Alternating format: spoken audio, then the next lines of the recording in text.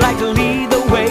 And once a month we have our Negro Day. And I'm the man who keeps it spinning around. Mr. Corny Collins with the latest.